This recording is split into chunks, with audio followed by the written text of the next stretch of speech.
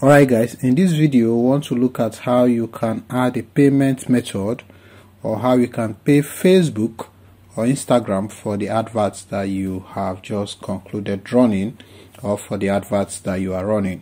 So you have to pay Facebook because this is now a business and um, we are talking money we are now talking money. So first you need to come to your your your business manager account which is um, business.facebook.com and from here the hamburger icon or whatever they call it you just come here where it says all tools and you find your billing here.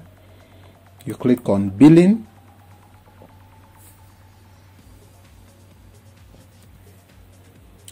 So we are going to wait for our billing to come up because we want to add the payment settings. As you can see here it says I do not have um, any outstanding balance because I don't create adverts with this account. So what we just need to do is to come to our payment settings.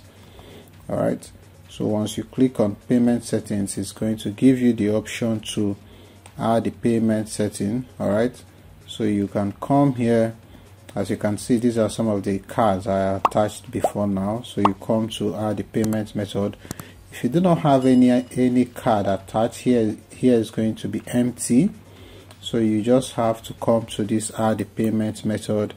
And then you can select the country. You can select the country where you come from the currency. If you want to pay in, in Nigerian naira or whatever currency you want to pay with you select the currency.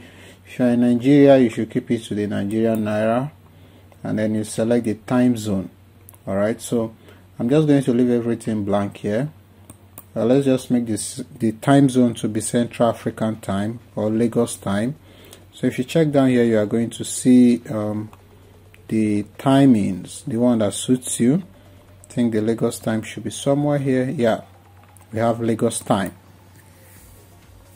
So selected Lagos time and then you can click save all right so it says changing time zone requires a new ad account. So I cannot change my time zone here. So it says to change the time zone you will need to create a new ad account. Your old ad account will be visible but permanently closed. So I don't want to do this. So I'm just going to go back and just um, click on save. So it's going to ask you to add the payment method that you want that you want to use. So this is a currency we selected Nigerian Naira. So you just have to add a card a debit card or a credit card. So your visa card or your mastercard from your bank should work. So you go to your bank you tell them that you need a card that you use for online payment. So your regular um, naira mastercard and um, naira visa card should work and once you've selected this you come here you click on next. So it's going to give you the option to put the card details. So you add the card details and you click on save.